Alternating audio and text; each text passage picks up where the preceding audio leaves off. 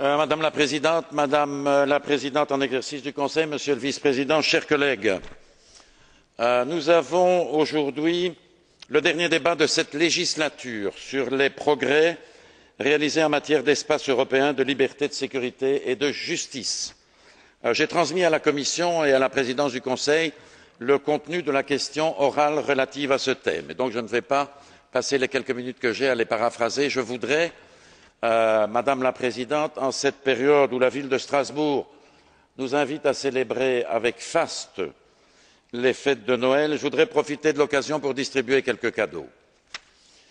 Le premier cadeau, il me plaît de l'offrir à la présidence française du Conseil, pas pour la permanence de sa présence ou pour sa ponctualité, mais d'une manière globale pour la qualité de la préparation que la présidence a mise au service des contacts avec le Parlement et pour la maîtrise dont elle a fait preuve, et en particulier les éminents collaborateurs des ministres dans les négociations délicates qui ont eu lieu avec le Parlement européen.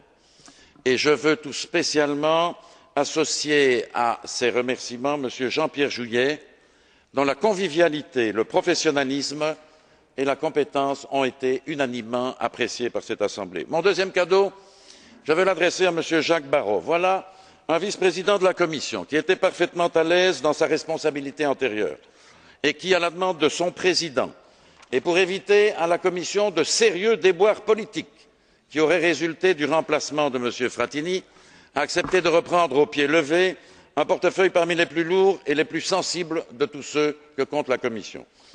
Monsieur le Commissaire, cher Jacques, en moins d'un an, tu es parvenu non seulement à maîtriser une matière particulièrement complexe, mais aussi à imprimer ta marque, ainsi qu'en témoignent les propositions qui viennent de nous parvenir sur les nouvelles orientations en matière de politique d'asile. Mon troisième cadeau est pour mes collègues, dont la plupart sont de grands professionnels passionnés par leur dossier, dont quelques uns sont de vrais bourreaux de travail, et l'un ou l'autre, il faut bien l'admettre, de sacrés caractériels qui suscitent chez moi et chez d'autres autant de respect que d'affection. Mon dernier cadeau pour nos collaborateurs, tant du secrétariat, Emilio De Capitani est là qui n'écoute pas, des collaborateurs des groupes politiques, des assistants de chacun d'entre nous dont le zèle, le dévouement et la compétence constituent une part essentielle de la réussite de notre travail. Les cadeaux ainsi distribués, j'en viens au bilan. Personne ne peut contester, Madame la Présidente, qu'en moins de dix ans, l'espace européen de liberté, de sécurité et de justice a connu un développement considérable. D'un stade totalement embryonnaire en mille neuf cent quatre vingt dix neuf je rappelle que l'ambition du programme de Tampere était d'abord de jeter les bases d'une coopération entre les États membres et de promouvoir la reconnaissance mutuelle des décisions de justice. Et suite à cela, le secteur JLS a connu un nouveau développement à l'occasion du programme de La Haye, qui a renforcé le socle communautaire. C'est sur cette double base et sous la pression des dramatiques événements extérieurs je ne dois pas parler des attentats qui nous ont fait tant de craintes et qui ont fait tant de morts mais de malheur que nombre de politiques ont réalisé des progrès spectaculaires la lutte contre le terrorisme et la grande criminalité la lutte contre l'immigration illégale la lutte contre le racisme et la xénophobie la lutte contre les drogues et les toxicomanies. Et ce n'est pas médire de nous tous, Conseil, Commission, Parlement, que de reconnaître que durant ces dix dernières années, notre approche a été conduite prioritairement, je ne dis pas exclusivement, prioritairement par un réflexe défensif commandé à la fois par les dramatiques événements que je viens de rappeler et par les légitimes attentes de sécurité de notre population. Ces derniers temps, cependant, une autre approche s'est progressivement dessinée, qui emprunte une voie moins défensive et qui est animée par la volonté d'une démarche plus positive, plus volontariste vers l'espace que nous voulons créer ensemble. C'est ainsi que le traité de Lisbonne, vous le savez, a prévu de rendre contraignante la charte des droits fondamentaux.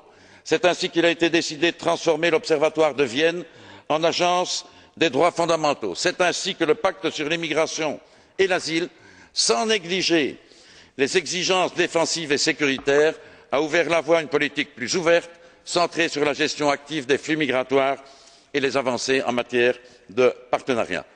Je voudrais en venir maintenant, Madame la Présidente, après les cadeaux, après le bilan, aux défis que nous allons devoir affronter ensemble et aux orientations nouvelles qui devraient inspirer le programme de Stockholm, dont j'espère ardemment qu'il pourra être mis en œuvre sur la base du traité de Lisbonne qui serait enfin ratifié. Comme je n'en aurai pas le temps, je tirerai une seule conclusion.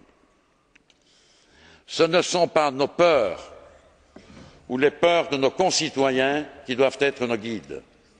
Ce qui doit nous conduire, ce sont d'abord nos valeurs qui doivent être adossées à des analyses objectives des risques auxquels nous devons faire face. C'est dans cet esprit, je l'espère, que nous rédigerons le programme de Stockholm et que nous le réaliserons tous ensemble. Merci.